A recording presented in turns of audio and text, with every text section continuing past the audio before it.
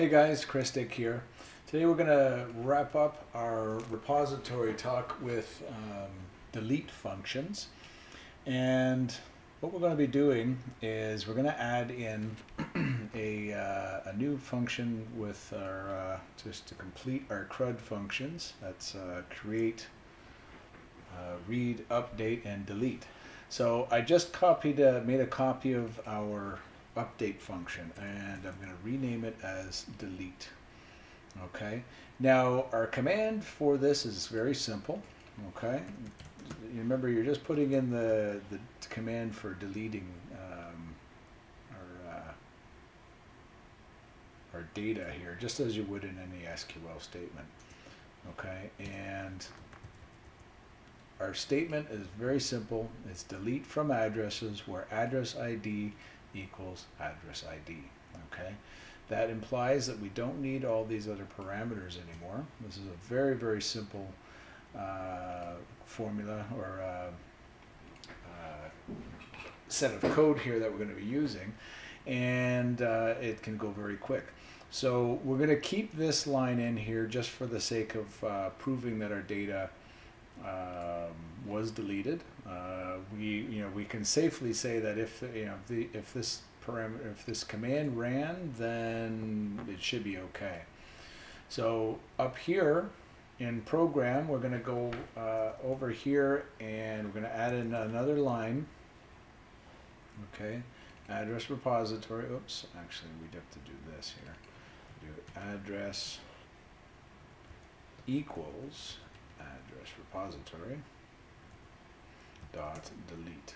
Okay, and I'm I'm I'm going to return the delete here just just as a uh, a method of showing you what the data looks like once it's uh, once it's deleted, and I'm passing in an, an address object. Okay. Now your delete, if you're passing in an address object, that's okay. Um, but you're more likely to have uh, an just an integer like an ID. So I'm gonna I'm gonna give you an overload function that just simply does that. So from this point, we're gonna run this, and what you're going to see is the uh, the address will be deleted. Okay, we have our return and you can see here it's pretty much just a bunch of nulls and uh, and minimum data or dates okay? And then when we return you're going to see that um, once it prints out that is you'll see it just prints out. Kind of nonsense okay? Now uh, there again, when you're trying to send a delete command, let's say you're using a website, for example, uh, you're generally not going to be passing in an entire address object. So what we're going to do here now is uh, I'm going to work on a, uh, a function overload. Okay. The uh, overload for this delete will be simply, we're going to send in a uh, an ID. Okay. I'm going to change this over here where it says address ID, item dot address ID. Okay. We really don't need this, so I'm going to comment that that uh, line out. Okay. We could wrap this in a try catch, but that's just a little more programming than we need to do right now. So let's not worry about that. Okay. So here in this uh, in the the delete command that um, that uh, gives us or uh, that that actually will call this one here is going to simply call um, return it's going to do return delete whoops not date delete item dot address ID Okay.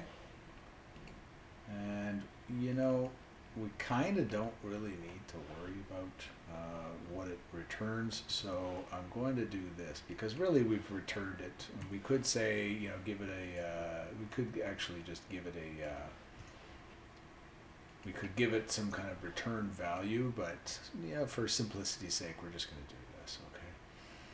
All right. And we're going to take away that return because of course we just made these just void. So they're just going to do something. They're just going to delete it and then uh, and then be done with it. Okay. Um, again, we could we could simply you know have it return a value, but I'm not going to do that right now. Okay, super. All right, now we'll run this again.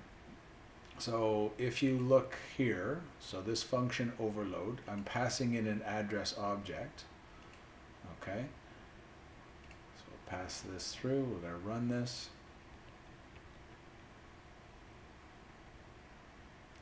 Okay. I have an address ID of 36. All right. It's going to uh, run into the function overload with with the delete with an ID. It's passing in an ID of 36. Okay. If I run past that now, steps through here. Okay. Run into it and continue. We're done. Okay. It does, doesn't have any information anymore because uh, address is still address. It's still in memory here, so it printed it out at the bottom. Okay. because we retrieved it before. All right. Excellent. Okay, so that's our delete function. It's very simple. This is a very short video, so uh, catch me in the next one. Remember to like and share.